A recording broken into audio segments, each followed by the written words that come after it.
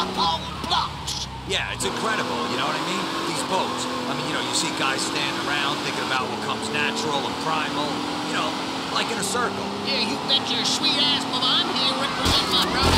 Something I invented, you know, and no serious hunter should ever consider going into the wilderness without us. Deer urine. Hey, now what in the high holy hell are you talking about,